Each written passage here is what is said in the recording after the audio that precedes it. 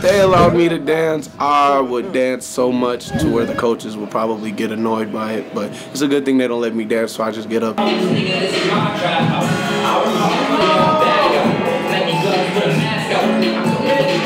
That's just that's just how I handle every situation. You know, um, I like having fun. Uh, I enjoy this sport a lot and I really don't try to be down. I try to get the I try to get my friends and all my uh, teammates hyped and stuff. I just try to keep everybody happy. It's just when people look at me, that's just some way of being a leader, just by always being positive and not being all down and stuff like that. No, it's not dyed. Um, you know, I just feel like I stand out with this red hair. For D line, all you got to do is just have good hands and be strong enough. Uh, I feel like I have both of those qualities, and you know, um, being six foot, it does kind of not it does have an advantage because instead of having to get super low, I'm already lower than most O linemen, so that kind of gives me good leverage.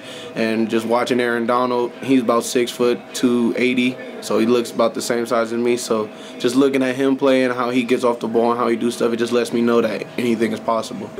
mm.